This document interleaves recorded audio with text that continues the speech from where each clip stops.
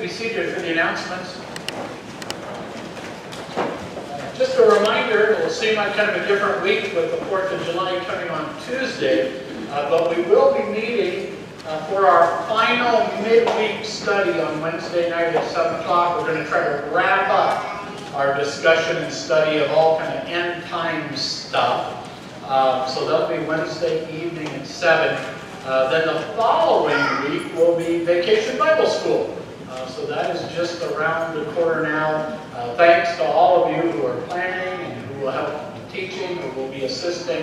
Uh, it's a big effort, and we pray that God will work through the stories of Scripture in the hearts and minds of the young children we'll have here, not this week, but the following week.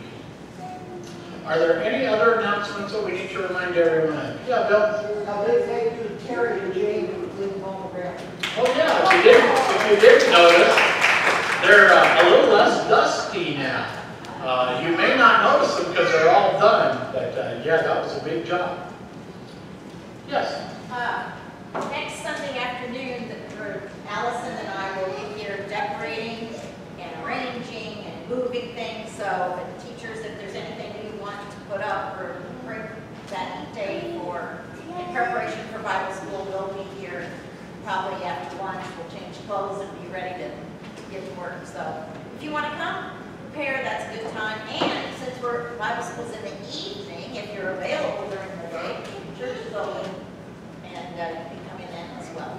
So, see you next week.